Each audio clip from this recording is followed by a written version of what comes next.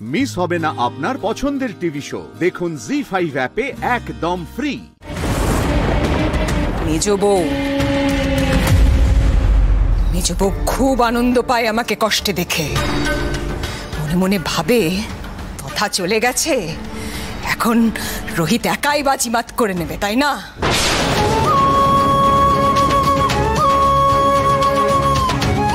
ধর্মেশ হইবে না, মেজ বউ। রোহিত করতে পারবে না। আমার কোল খালি করে দিয়েছে তোমার ছেলে। তুমি ভেবেছ জীবনের এই যুদ্ধটা তুমি জিতে যাবে?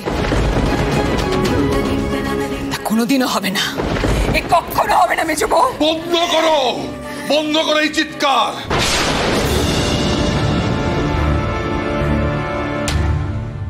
ঈশ্বর সাক্ষী দিদি।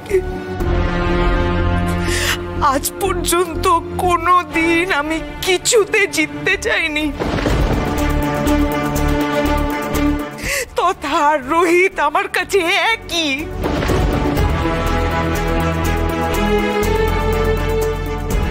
মেজদি তোমার কি বডির অবস্থাটা আইসে পড়ছে না? হ্যাঁ? তারপরে আবার ব্যাকটক করছ ছি ছি গো সেম সেম। কাবেরি চুপ করো না এসব কথা কেন বলছো এখন? রুদ্র? হ্যাঁ হ্যাঁ কি? দাঁড়া। কি কি? তুমি তো বোঝো বলো। তুমি তো বোঝো আমি মেয়েটার গায়ে কেন হাত তুলেছি?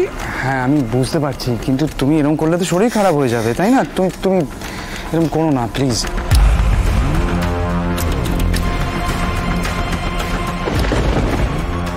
মেয়েটা সত্যিই ভারী মিষ্টি।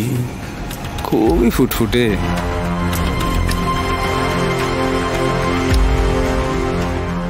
ফুলকি। দেখো, তুমি প্লিজ কান্নাকাটি করো না। এখানে কেউ খারাপ মানুষ নই আমরা। তোমারও দোষ না, তুমি সম্পূর্ণ না জেনে মায়ের একটা কষ্টের জায়গায় আঘাত করে ফেলেছো। তাই মা ওইভাবে রিয়াক্ট করেছেন। তুমি যদি এখন কাঁদো, তাহলে বাড়ির প্রত্যেকের কতটা খারাপ লাগবে বলো তো? প্লিজ প্লিজ তুমি কেঁদো না। মাস্টারমশাই, আমি সিরিয়াসলি জানি না, আমি জানি না এই বাড়িতে কখনো কোনো দিন কোনো আনন্দ, হই হুল্লোড় এগুলো হবে কি না আই ডাউট বাট একটা জিনিস আমি সত্যি সত্যি জানি যে আমাদের বোধহয় প্রত্যেকের, সবার মায়ের দিকটা একবার ভেবে দেখা উচিত।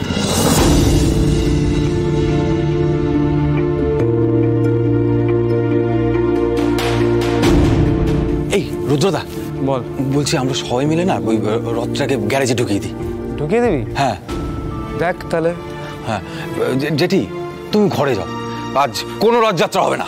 না।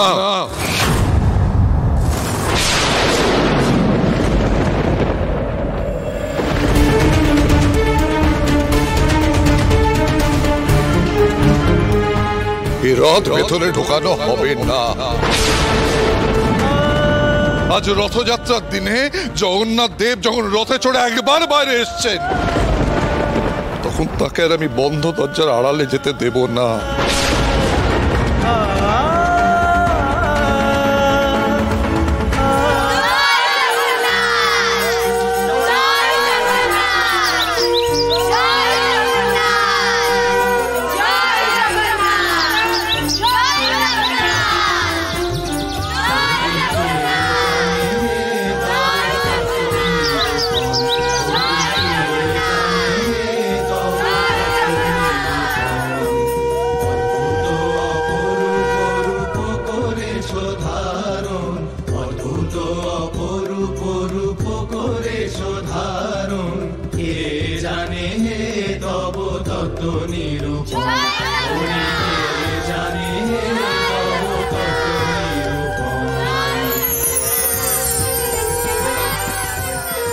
মাস্টারমশাই আহ, আজ এতদিন পরে রায়চৌধুরী বাড়ির রথ বের হলো। নবাবগঞ্জের মানুষ তো আজ আনন্দে আত্মহারা হয়ে আছে। এই ফুলকি মেয়েটাই তো রথটাকে টেনে বার করল।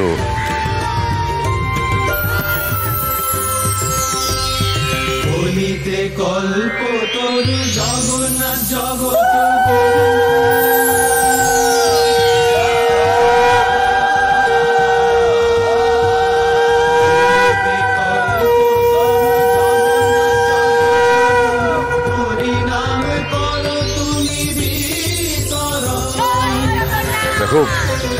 জগন্নাথ দেব যখন স্বয়ং চেয়েছেন, তিনি যখন স্বয়ং পথে নেমে এসেছেন আমরা কি বা করতে পারি?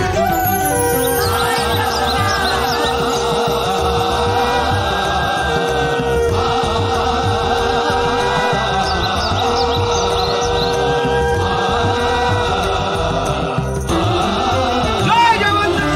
জয় জগন্নাথ!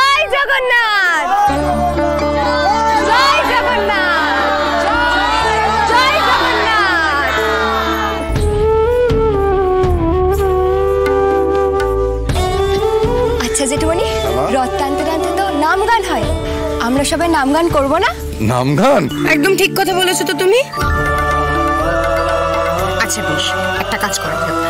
তুমি শুরু করো আমরা সবাই মিলে যোগ্য দেবো। বেশ। সেই ভালো। সবাই তোমার সাথে নাম গান করবে না। আজকে আজকে কতদিন পর আবার এইসব হচ্ছে? তাই না রে? এটা তো দেখছি ক্রমশ নয়নের মনি হয়ে উঠছে। ওকে পাওয়াটা তো আরও কঠিন কঠিন হয়ে যাচ্ছে দেখছি। মারে আজ তথার কথা বড্ড মনে পড়ছে রে। দাদাকে দেখ। দাদাও কি কম কষ্ট পাচ্ছে? সবাই সব সময় ওকে আগলে আগলে রাখবে এরপর। আজ অনেক দিন পর জগন্নাথ দেব আমাদের আশীর্বাদ করেছেন। এই ফুলকিকে দেখ। এই মেয়েটা কেমন আমাদের জীবনে একটা বাতাস নিয়ে এলো না রে? হ্যাঁ?